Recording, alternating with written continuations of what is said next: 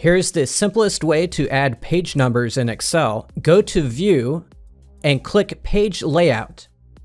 The screen will change to show what it would look like if you wanted to print your data. Click into the Add Footer area at the bottom. A new ribbon will appear at the top called Header and Footer. Make sure that ribbon is showing by clicking on the words Header and Footer. Click the page number button to add the page number.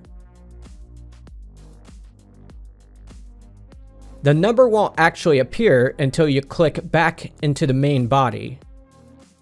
You can also add the number of pages. Go back into the footer and make sure the header and footer ribbon is fully showing again by clicking the words header and footer, add a space after the last bracket, type in the word of, then another space, then click the button that says number of pages.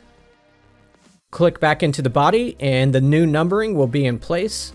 If you ever expand the number of pages in your document, the page numbering will update itself. You can do many other things with the page numbering. By clicking into the footer and jumping to the home ribbon, you can bold, italicize, or change the color of the numbering. Just make sure the entire formula is highlighted when you do that. On the header and footer ribbon, there are many other options too, like adding the time and date. That should get you on your way to using the page numbering in Excel. If this video was helpful, please leave a like. If you'd like to learn how to use the filtering function in Excel, click the video that's linked on the screen in front of you. Have a good day, everybody.